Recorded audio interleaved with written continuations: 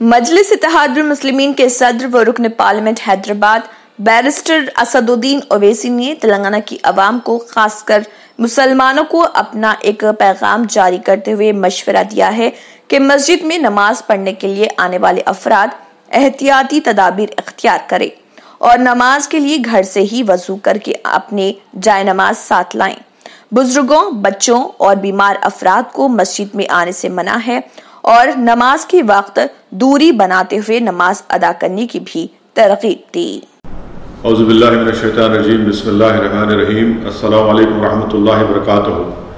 मैं आपको ये पैगाम देने के लिए, आपके बताने के लिए ये कह रहा हूँ कि कल 8 जून से पूरे मुल्क में तमाम मजहबी इबादतगाहों को खोल दिया जाएगा।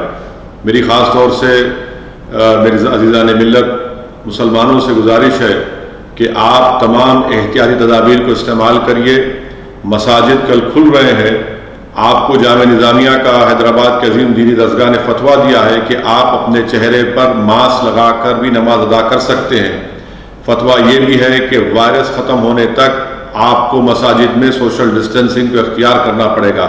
यानी हमेशा की तरह हम कंधे से कंधा मिलाकर सब बनाकर नमाज़ नहीं पढ़ सकेंगे, क्योंकि वायरस है, दूरी बना कर रखिए और नमाज़ अपनी अदा करते रहिए।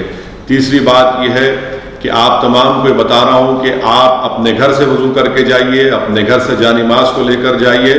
मेरी मसाजिद कमेटी से यह अदबन गुजारिश है, पुरजोर अपील है कि आप मसाजिद में बैतुलखला को बंद रखिए, वज़ू का पानी का इंतज़ाम मत करिए और आपको ये तमाम एहतियाती तदाबीर को इस्तेमाल करना बेहद ज़रूरी है।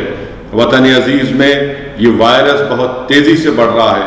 अब तक दो लाख छत्तीस हज़ार लोग इस वायरस का शिकार हो चुके हैं। छः हज़ार से ज़्यादा लोगों की अमवात हुई है, जिसमें बुज़ुर्ग भी शामिल हैं, ख़वातीन भी शामिल हैं, नौजवान भी हैं, बच्चे भी शामिल इनकी मौत हुई है।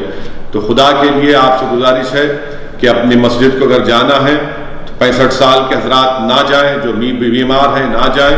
अपने चेहरे पर मास्क लगा कर जाइए, वज़ू करके जाइए, क्योंकि मसाजिद में वज़ू का इंतज़ाम नहीं होगा बैतुलखला नहीं होगा।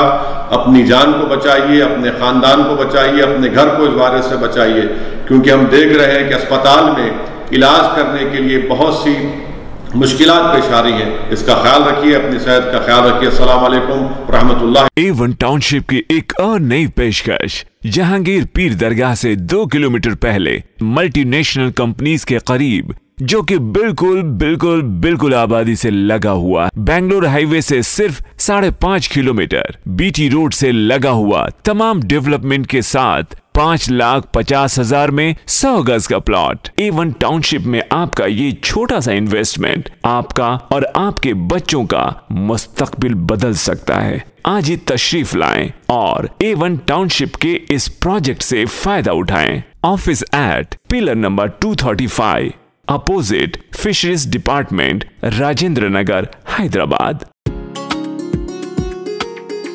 Friends की शादियों में ही डांस करती रहोगी या अपने बारे में भी सोचोगी? तो फिर तलाश करे ना। मेरे लिए कोई परफेक्ट मैच इतना परफेक्ट मैच कहाँ से मिलेगा? ट्राई नायाब रिश्ते डॉट कॉम क्यूँकी यहाँ मौजूद हैं रिश्तों की बेशुमार चॉइसेस और वो भी पूरी वेरिफिकेशन के साथ। और यहाँ रखा जाता है प्राइवेसी का पूरा ख्याल। तो थामे परफेक्ट मैच का हाथ। अगर आपने हमारे चैनल को अभी तक सब्सक्राइब नहीं किया है तो यहाँ पर रेड कलर का सब्सक्राइब बटन दिख रहा है। उसे क्लिक करें और हमारे चैनल को सब्सक्राइब कीजिए। और साथ ही साथ बेल आइकन को भी क्लिक कीजिए जिससे आपको ताज़ा ताज़ा अपडेट